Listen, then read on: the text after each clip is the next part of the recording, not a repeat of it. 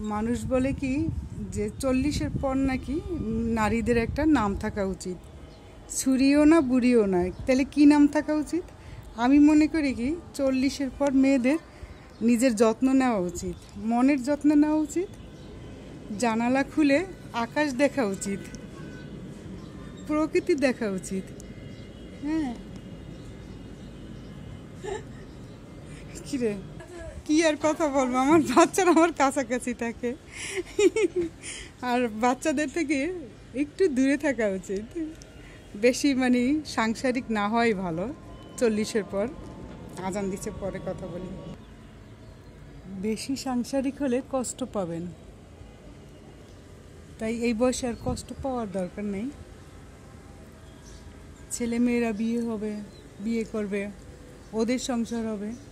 ওদের সংসার নিয়ে যখন ব্যস্ত হবে, তখন আমরা এই কষ্ট পাব।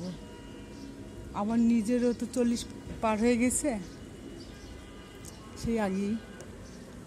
তাই আর কি বলতেছি, চারিদিকের মানুষজন দেখে, হুম, আমি সবসময় আমার নিজেকে অনেক ভালোবাসি। হ্যাঁ ভালো না লাগলে সাজুগুজু করবেন বাহিরে বেরিয়ে যাবেন, ঘুরতে যাবেন। বাচ্চাদের সঙ্গে না, বাচ্চারা তো এখন বড় হয়ে গেছে। চল্লিশের পর মেয়েদের, বাচ্চাদের থেকে মাঝে মধ্যে দূরে থাকাই ভালো। বেশি সাংসারিক হলে কষ্ট পাবেন। আর তো শুনলেন, আজান দিয়েছে, আমি নামাজ পড়তে যাব। তাহলে আজ রাখছি। আপনার সবাই ভালো থাকবেন। আর আমার কথাগুলি একটু মিলিয়ে দেখবেন। নিজেকে ভালোবাসুন, অন্যকেও ভালোবাসুন, তবে সাংসারিকটা একটু কম হবেন, চল্লিশের পর।